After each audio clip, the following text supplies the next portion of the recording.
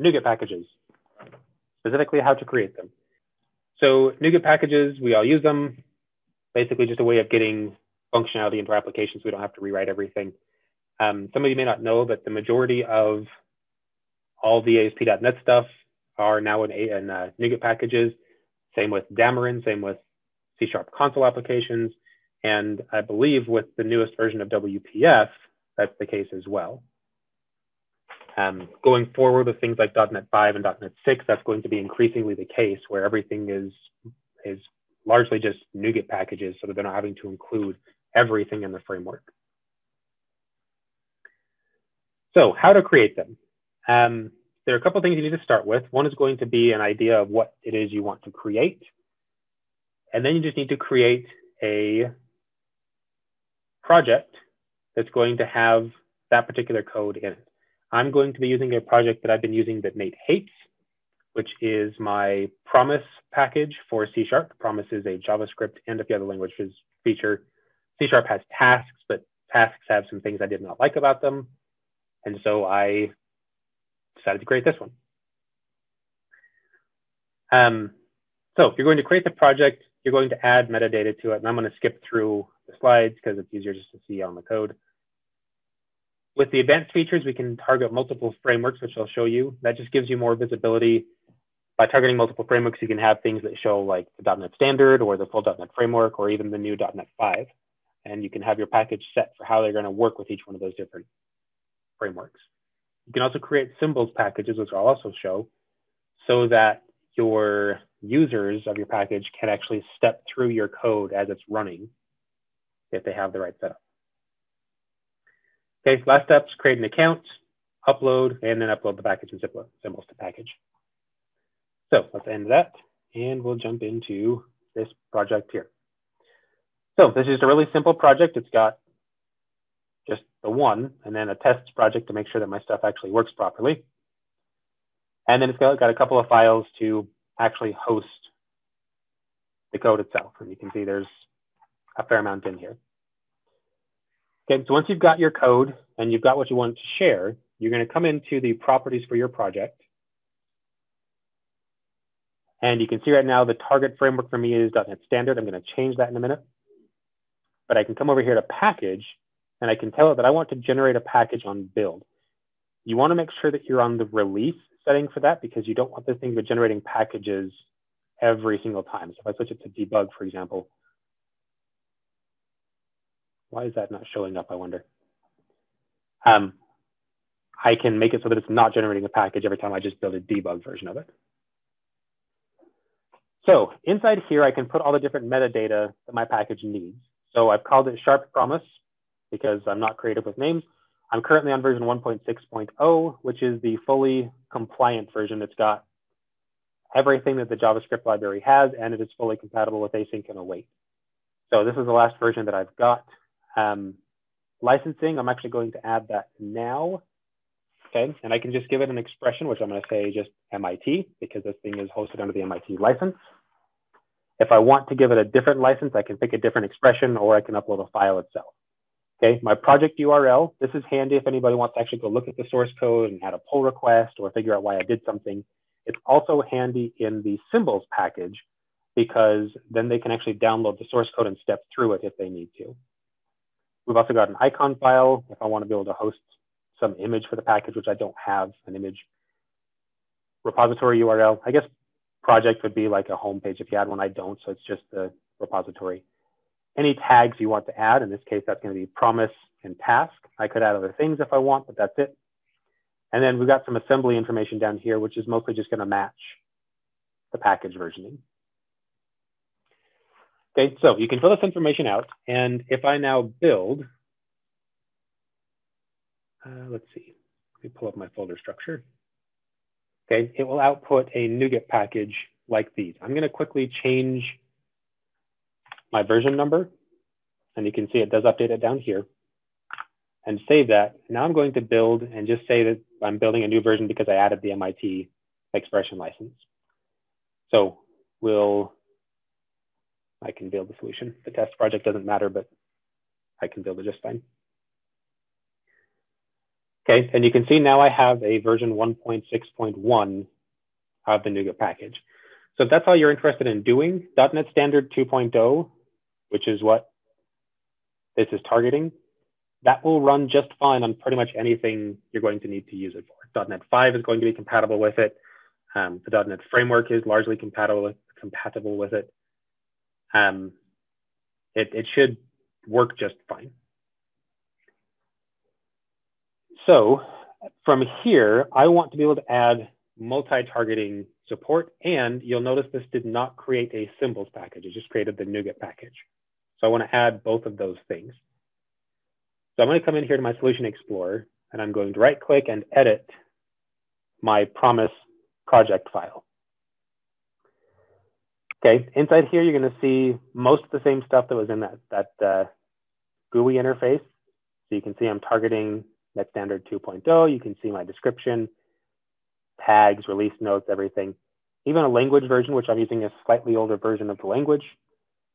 Um, and then the, the expression that I just gave it for the package. Okay, to add a symbols package, we just need to add three lines, which I'm going to just copy and paste for brevity. Add them here. So this publish repository URL is going to allow it to publish that as part of the actual package.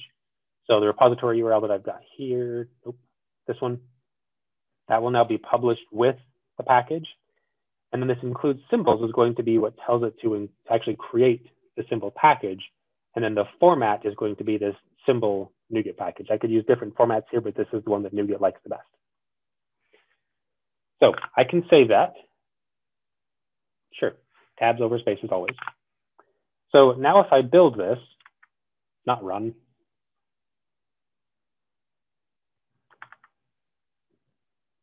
stop debugging. Yes, there's nothing to debug. Oh, it's running the test. Yeah, cool. All right, so build, build succeeded. And now you can see I have the NuGet package, but I also have this symbols package. So this is going to have all the different information that Visual Studio would need to be able to actually pull up code and say, hey, this threw an exception and it's not your fault, it's the idiot that made this promise library. Here are the symbols so you can actually get information about what went wrong inside there.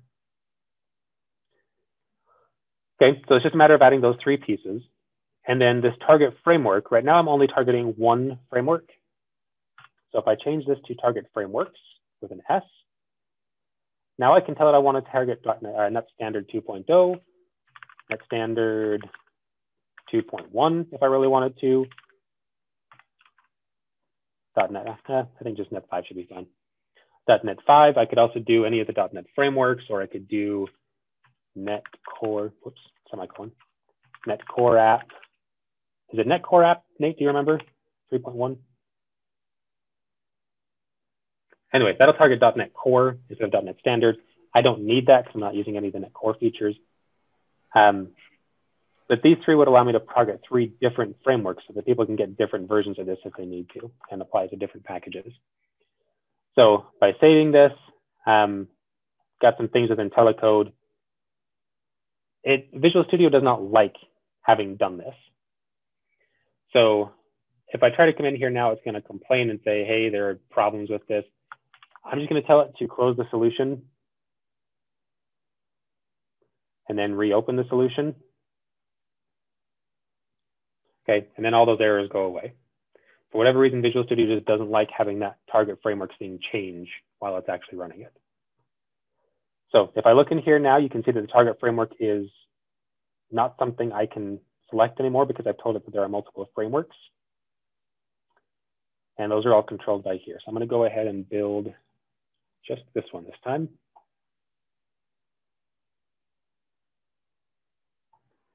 Okay, and now nothing changed about this right here. But if you look up here, you can see now I've got different folders with the different build DLLs in each one of those frameworks. So it actually built a different version of this for each one of these frameworks and then basically shoved all that information into a single NuGet package.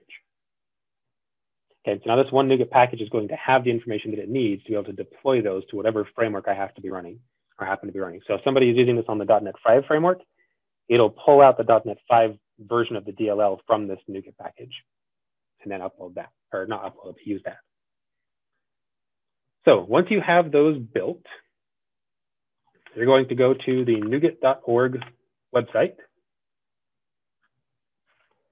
Okay, and then you're going to sign in with the account that you created.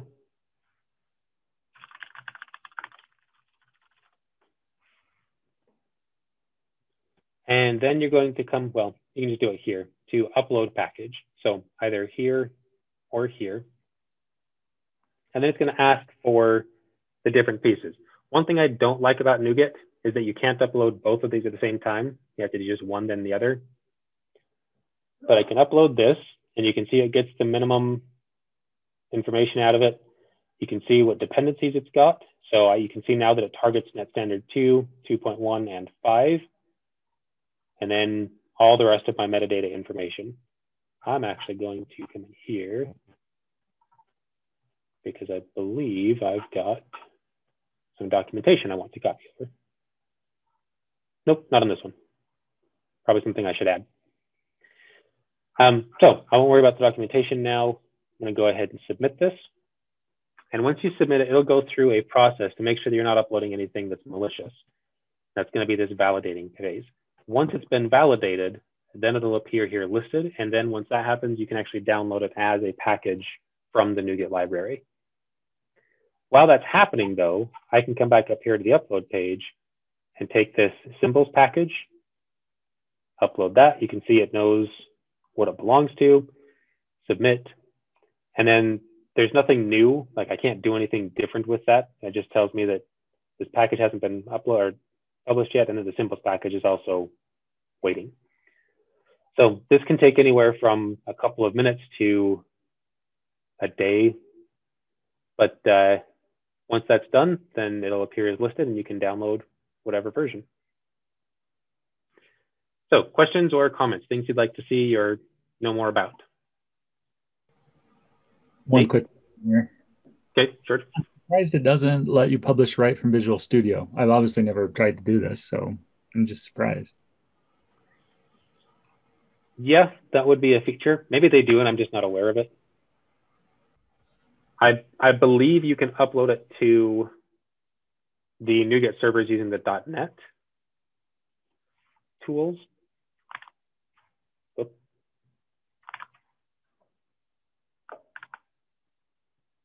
So using this tool, um, but I haven't looked into that, so I have no idea how to do that. Right click on your are... project and let's see what it says. Do what now? Right click on your project. Let's see what it says. Because I know there's like a pack, which will do. I just wonder if there's anything else. I mean, there's published, but that's different. I don't know what pack does. It just said build succeeded. I don't know. There's nothing new over here. And the date times on these aren't updated. Yeah.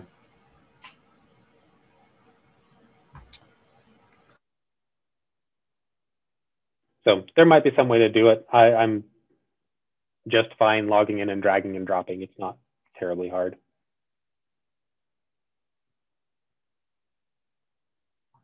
So you can manage NuGet packages from here, and then we can see. So here it is. Obviously, it hasn't got the 0.1 version yet because it hasn't been listed, but I could install it right now if I wanted to. However, I'm not a big fan of this kind of recursion. Other questions, comments? Okay, if there are no other questions or comments, then uh, turn it back over to Nate. Oh, goody. All right, well, uh, thanks, Phil and Dan, for that. I appreciate it. All right, well, thanks, guys. Talk to you later. See ya. See you guys. Thank you.